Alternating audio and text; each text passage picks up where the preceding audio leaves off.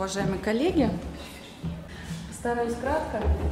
А, хочу представить результаты полевых исследований, которые проводились а, мной и моими коллегами в экспедициях за несколько последних лет.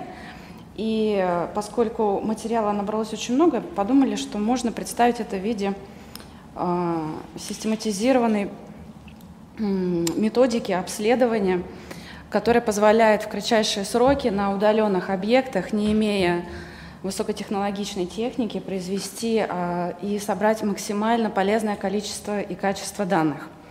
Собственно, актуальность обоснована тем, что органы охраны объектов культурного наследия обязаны проводить мониторинг состояния объектов культурного наследия. И дело в том, что э, это, это прописано в федеральном законе, и для выполнения этого пункта существует стандарт национальный, а, который описывает все возможные необходимые методики, которые необходимо произвести на объекте с целью а, определения его состояния как э, в данный момент времени для составления проектно-сметной документации, так и в будущем.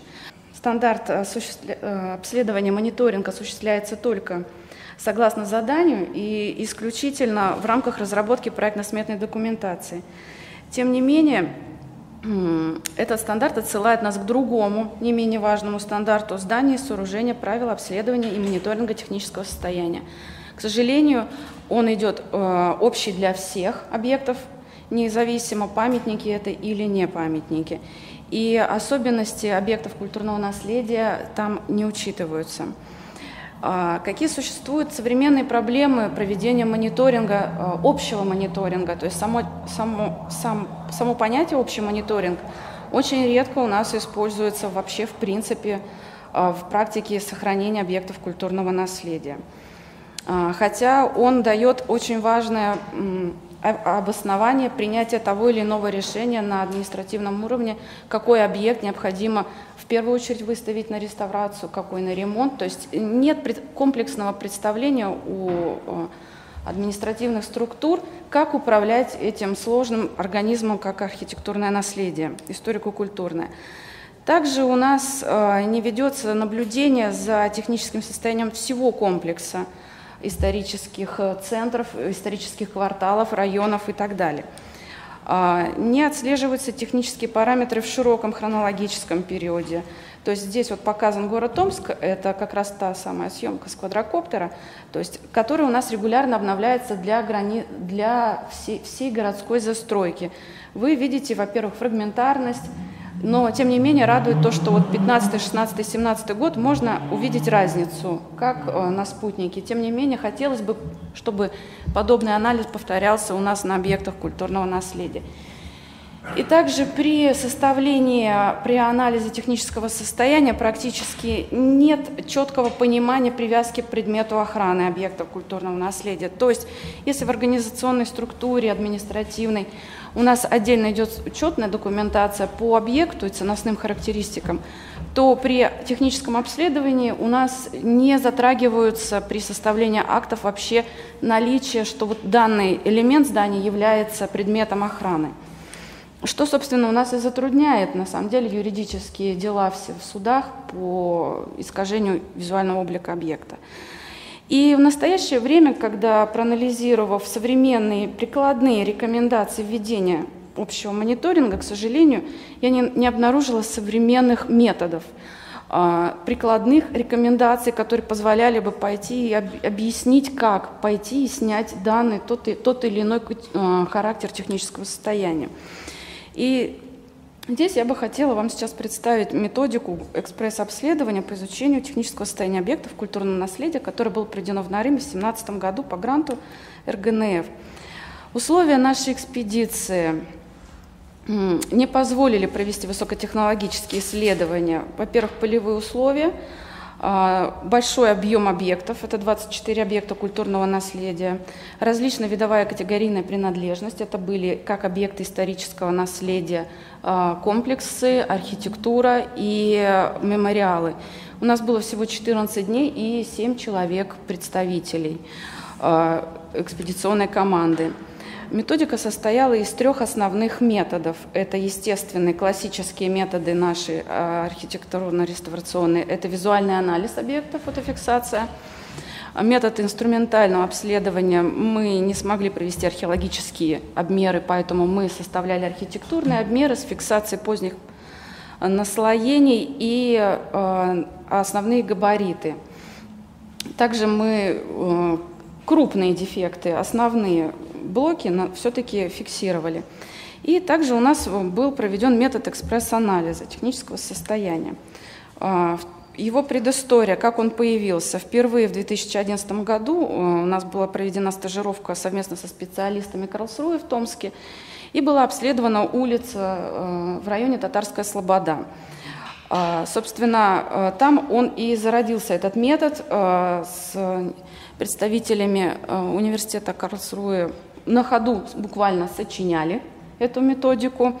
И впоследствии я ее уже при своих экспедициях, полевых исследованиях частенько э, пробовала опробировать, попробовать, как она работает. Собственно, это был Ханты-Мансийск, купеческий дом, Опь-Енисейский канал, гидротехнические сооружения и село Нарым, историко-архитектурный комплекс, жилые дома, общественные здания, мемориальные комплексы.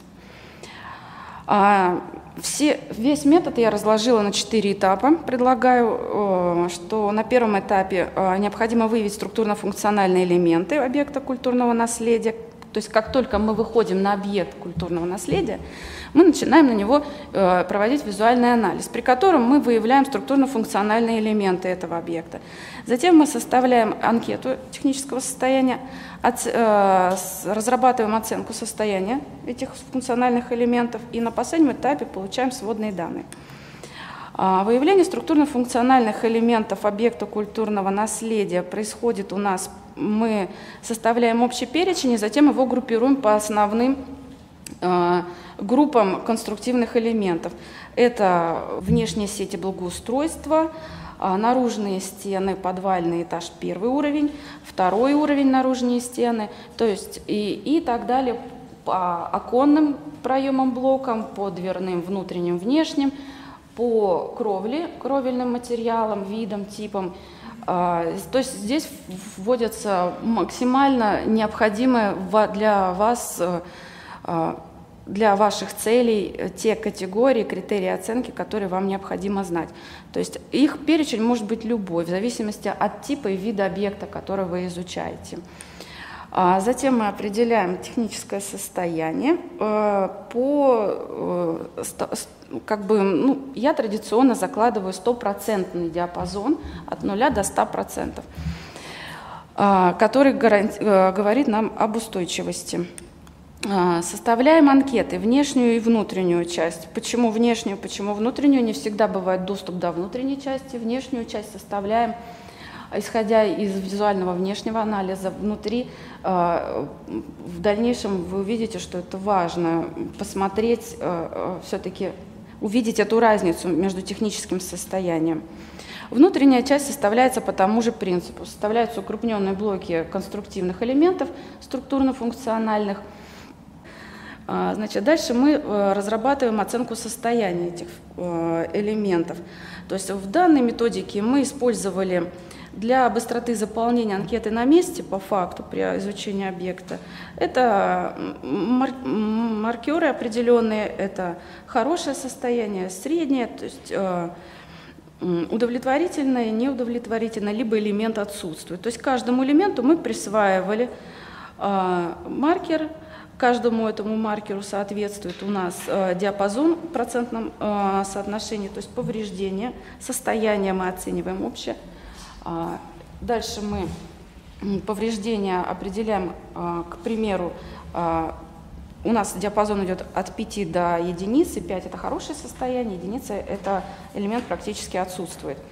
Категорию также назначаю вмешательство и обязательно графа замечания. Собственно, все это сводится в сводную таблицу, матрицу показателей – а, где мы вносим внешнюю часть, внутреннюю по категориям. Так, то есть здесь мы видим внешнюю часть, внутреннюю часть.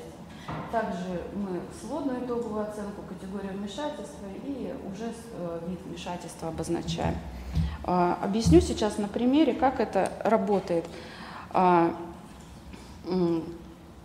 Для объекта культурного наследия, э, такого, например, как а, это общий вид здания, это полицейское управа в Нарыме, например, матрица показателей. Благоустройство, средний балл у нас получился 2,2, стены 2,2, поподробнее объясню здесь. То есть, присвоив при а, визуальном обследовании, определив, что, например, у нас а, гидроизоляция под покрытием кровли, например, находится в удовлетворительном состоянии, в хорошем, ее повреждение, например, равняется 20-40%, мы присваиваем балл 4 в диапазоне и категорию вмешательства. В принципе, простым арифметическим э, выведением среднего балла по блоку кровли или, например, по блоку стропильных конструкций мы вводим средний арифметический балл. Если элемент изначально отсутствовал, мы его не указываем и в систему расчета просто не принимаем. Дальше этот укрупненный блок мы включаем в матрицу показателей. Здесь, соответственно, назначаем а, диапазон балла, что от 0 до полутора баллов а, устойчивость элементов, а, то есть у нас а, сохранились следы, например, у нас есть лобовая доска на наличнике, и сохранились следы от декора, которые позволяют нам утверждать, что на наличнике существовал декор. В принципе, мы уже, соответственно, можем сделать какую-то процедуру воссоздания. А, и здесь мы назначим диапазон единица, средняя арифметическая. И вот по такой градации, по шкале мы можем это все увидеть. А, сводная матрица позволяет нам определять и увидеть, видеть в общем э, виде, например, если у нас э, удовлетворительное состояние – это зеленый цвет, э, в целом видеть, какие конструкции у нас в каком техническом состоянии. Например, темно-синий цвет – это у нас аварийное состояние, либо объект вообще практически отсутствует. Мы видим сразу в общем взглядом в матрице показателей, что у нас она, в принципе, не так все и плачевненько находится. А, желтый цвет это у нас оранжевый, это хорошее состояние техническое. Дальше, а, на примере Куйбышева а, дробь 1 мы при изучении этого объекта, при подробном обследовании обнаружили, что на самом деле второй этаж в очень хорошем состоянии техническом находится сруб, и устойчивое здание, она, э, деформация здания произошла по причине того, что местные жители просто систематично выпиливают нижний этаж, э, разрушая тем самым каркас и прочность. Тем не менее, техническое состояние древесины было вполне адекватным. И точно так же по остаткам и признакам, э, по наличию слоев выветривания древесины, по крепежным элементам, по а, тех, э, технологии обработки древесины, по элементам непосредственно, а, то есть мы можем отличить э, станковую обработку древесины или же это была ручная. То есть здесь можно четко определить э, при визуальном обследовании, какой у нас элемент подлинный, какой и в каком состоянии. Также эта методика интересна для других типов объектов культурного наследия, например, как надгробие, мемориальная могила – Ермолаева Гольштейна. То есть здесь мы просто меняем непосредственно структуру этой анкеты, которую э, вот здесь она показана. Мы берем конструк... э, благоустройство, естественно, поскольку это мемориальный конкурс, э, комплекс конструкции. То есть характерные предметы, именно элементы, которые относятся к предмету охраны. И завершая... Угу. То есть готовится опорная схема, также с нанесением цветов. Готовится итоговый комплект документов, это анкетирование, а, схемы архитектурной фотофиксация. Кроме этого, наша а, камеральная обработка уже в домашних условиях, собранные материалы позволили нам сформировать таблицу окон, а, типичных для Нарыма, определить э, техническая категория технического состояния и типа конструкции в Нарыме, вывести градостроительную ретроспективу планировочного развития села Нарым, а, выявить э, функциональные модели разновременные И, собственно, преимущество этой э, методики в ее простоте и наглядности. И я делаю обязательно акцент на том, что хочу сказать, что, конечно, это не панацея, и эта методика не должна выполняться именно специалистами и исключительно в целях общего мониторинга состояния, повторяться раз в два года и позволяет нам видеть наглядно, как что у нас происходит для принятия тех или иных управленческих решений. Но ни в коем случае э, это не приговоры, не, нельзя считать полноценными актами технического состояния. То есть это исключительно мониторинг состояния для органов охраны. Спасибо за внимание. Если есть вопросы, я постараюсь ответить.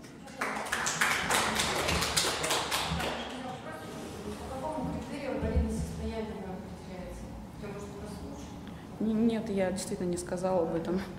Аварийное состояние определяется исходя из категории устойчивости элемента того или иного.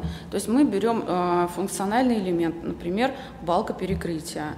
Если в ней наличие деформации, то есть мы, во-первых, смотрим подлинность наличия, э, насколько этот элемент подлинный, э, насколько он э, в техническом состоянии находится, то есть деформации, это, ну, то есть это а, анкета для визуального анализа в первую очередь. А, сверху снизу у нас, например, ну, снизу дранка, сверху пол, то что внутри мы не видим и не оцениваем, только ну, как правило, в подполье у нас есть входы, а, и на, в деревянных зданиях это вообще не проблема а, изучить. Ну, там также, там немножечко мы разметаем а, утеплитель, и там, в принципе, все видно. А, бывает, в тех случаях, когда не видно, мы в анкете так и фиксируем, то есть недоступно для обследования в принципе. То есть здесь э, вариант э, все-таки устойчиво. Я вот именно ввела понятие устойчивости элемента, поскольку когда мы с, с Германией работали, то есть у них было все просто. Они нам говорили, вот мы, мы пнули, не отвалилось, значит хорошее состояние, не аварийное. То есть и, и студентам иной раз вот так и приходится объяснять. Очень интересно, эта методика работает именно со студентами. Они быстрее и легче понимать, что такое акт технического состояния. Им легче перейти на акты технического состояния составления. А аварийность э, все-таки возможность эксплуатации дальше этого элемента, насколько он возможен в эксплуатации. Деформация балки. Практика, например, вот этот момент а, визуального, а, визуальной оценки, да, она на самом деле а, субъективна, и даже когда ставится, допустим... Процентный диапазон для этого ставится от 0 до 20, он может быть и 0, и может быть 20, но глядя, если вы э, при визуальном обследовании у вас есть подозрение, что вы видите, что доски вспучивает и идет деформация объекта, то ваше право поставить здесь э, двойку, плохое техническое состояние, неработоспособное, и отослать на обследование. То есть это требует срочного вмешательства.